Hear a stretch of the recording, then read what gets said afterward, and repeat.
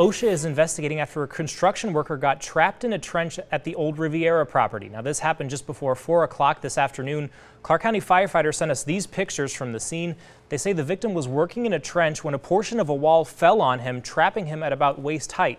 He was eventually freed and was taken to UMC. No word right now on his condition.